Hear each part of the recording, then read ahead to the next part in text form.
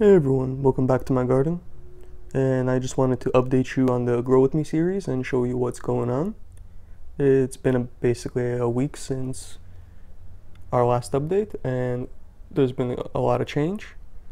If we look on our left side over here, this is basically all of the spinach that didn't germinate. And as, I, as you remember I mentioned, I'm going to replace it with Swiss chard. And all of it has germinated, looking very good and as you see some of it are as red and yellow. Some of it is just two red two red swiss chards and the other ones are red and yellow i think again or possibly red and green. And the nice thing about swiss chard is when it gets older the root system actually takes on the color of the plant. Like you can see this is a yellow root right there because there's a yellow swiss chard and the red one will come out a little later. That hasn't sprouted yet from the bottom. So that's looking very good. And what we, what we germinated together is looking very good, even though the replacement that we put in. So if you look at basically the kale, the kale is looking very good. Some of it's looking bigger than others. That's always going to be the case with planting. There's always going to be one plant that's dominating out of your entire growth. So as you see here, the lettuce this one looks like is the biggest one. The arugula and the kale. But nonetheless, they're all growing quite well. And at this stage of, of growth, this is when I basically come in, being that it's been a week of quarter of sorry half strength that the plants were taken up. Now it's time to give it full strength, which is basically going to be our vegetative stage for nutrients. And we're going to give it 2 grams of Master Blend 41838, 2 grams of calcium nitrate, and 1 gram of Epsom salt. So when we put that in there, we're going to give it a nice mix for 1 gallon of water. So you want to put in that ratio per gallon. And we're going to come in and replace all of these containers here later today. Except the ones on the left because these are still in the early stage of growth. They haven't even put on their first sets of leaves, so the only thing these three have are water. And some of you might be noticing some white spots on the coco coir. This is basically a tiny bit of mold that formed because the moisture levels were very high. And once it dries up, it'll completely go away and it's completely harmless to you and as well as the plants. It doesn't do any damage to them at all. As you see right here, this was completely surrounded around this one. And once it dries up in a couple days, it goes away. So nothing to fear. So if you see that on your coco coir, that's perfectly fine. But if it is like a nice fuzzy material that actually is lifted up and elevated, looking like a nice little, like a foam or a little cloud, that's uh, that's probably a really bad mold and you want to take care of that immediately. But for now, these plants are doing very well. Let's take a look at the root system. Uh, this is right here, basically Lollo Rossa. And we got some nice, nice roots on that. It looks like some are bigger than the others. And the arugula is looking very good. Look at that. Look, look, oh wow, look at all the roots that's actually poking out all along the sides as well as going down the bottom.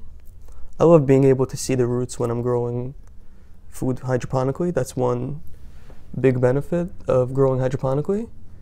You're able to see what's going on down below, which is just as important as what's going on up top. And let's take a look at the kale. This kale is looking really good, I think. This, at this stage of growth, this is actually a really good time to come in and harvest some kale when kale is when you eat it young it's very delicious and it's not as as bitter. As kale get, gets older the leaves turn, tend to get a tiny bit more bitter but i really enjoy my leafy greens so i definitely don't mind. And at this point being that the plants all have put on their first sets of true leaves already they have already their second set as i mentioned time for the nutrients.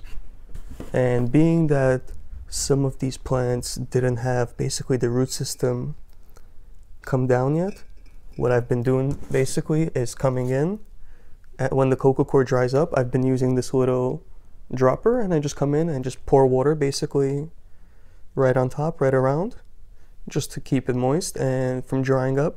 This way you want you keep the seedlings alive until the root system grows down to the bottom like this one did. So for now I'm going to keep monitoring these and once as always like our other episode from our last post when these have their first sets of leaves I'm going to give it half strength for one week and then full strength like these had. But for now I couldn't be more pleased and I hope you guys that are growing with me have the same stage of growth if not bigger at this point. And if you wanted right now, you could even come in and give yourself a tiny little, little small salad. Take a little bit of the lettuce, some of the arugula and the kale. And once you eat, once you harvest that, you leave this a little bit of the center, and that will regrow. So you you'll eat that, put that in the back, while these two continue to grow and get bigger. And then you could eat one of these two, and then move that to the back. And that's basically what you call succession planting which is what I'm going to be doing with these plants when they get a tiny bit older. But for now, I'm just going to keep monitoring its growth. I'm going to change the nutrients tonight for 9 out of 12 for these 9 here. I'm going to give it full strength like I mentioned. And this one I'm going to give quarter strength once it puts on first sets of true leaves. I'm sorry, I mean half strength actually. But for now, it's doing quite well and um, I left the jars unpainted because this is a little bit of an experiment. And for now I'm gonna keep it uncovered and it looks like it's doing quite well. There's absolutely zero algae growth but being that it's only been one week that's not surprising. And once I actually come in and give this thing full strength later tonight I might actually cover all these jars up and keep it out of the sun, being that that's going to be its nutrients for its entire growth of its life, basically. So to prevent algae growth is uh, probably a very good idea, and if you could do it, I think you should definitely do it. So for now, that's basically the update that I have. And as always, don't forget to hit the thumbs up and subscribe, and share with a friend. Thanks for watching.